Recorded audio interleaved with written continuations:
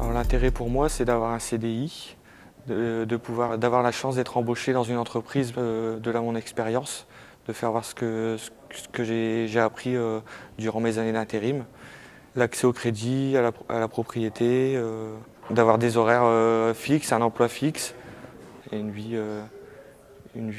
équilibrée. Le premier point fort, c'est bien sûr le CDI.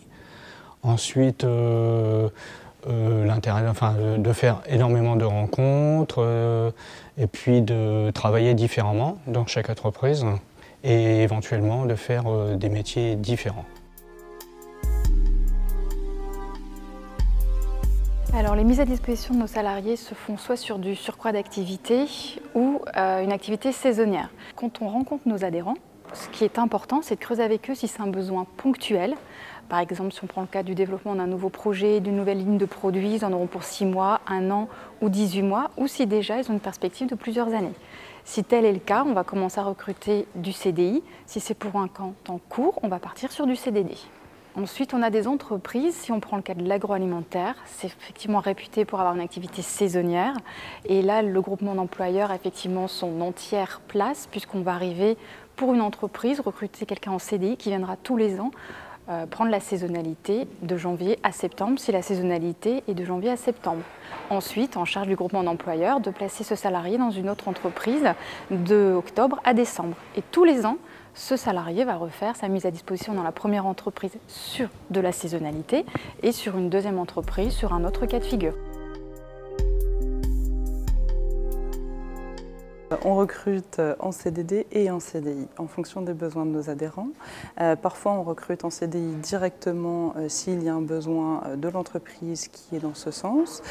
si c'est un besoin sur une durée plus limitée, on va dans un premier temps recruter dans le cadre d'un CDD, chercher une entreprise pour faire le maillage et que le salarié puisse à terme être CDIsé.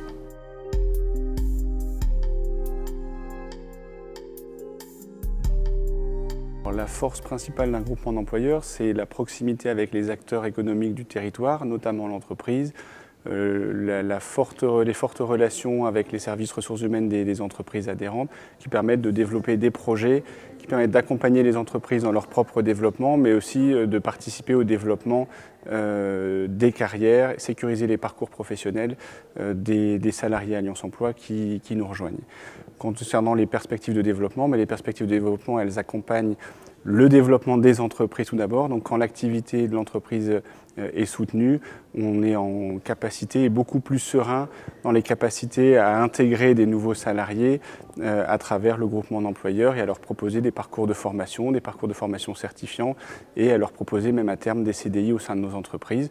Donc actuellement, on en a euh, un peu plus d'une quarantaine sur notre entreprise de, de CDI du groupement d'employeurs. Le groupement d'employeurs est une solution alternative qui permet euh, finalement d'avoir une réelle gestion des compétences, euh, de pouvoir s'appuyer sur, euh, sur le groupement d'employeurs pour développer nos compétences, permettre, de, permettre un maillage temporel et avec d'autres sociétés du même secteur d'activité.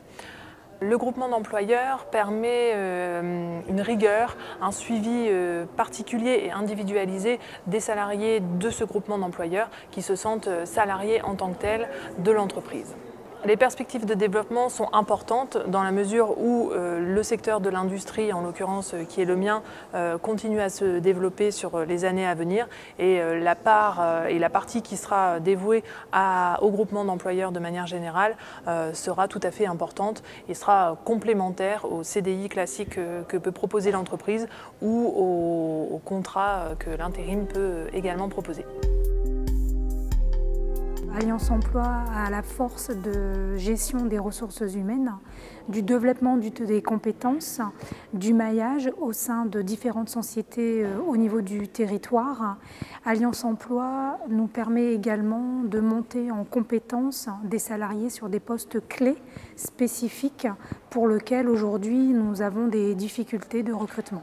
Les perspectives de, développement avec Alliance Emploi sont euh, d'augmenter le volume de salariés euh, avec Alliance Emploi dans un court terme, à savoir euh, pour la mi-décembre, nous sommes 15 aujourd'hui, nous avons une perspective de 30 personnes d'ici la fin d'année et pour l'année 2019.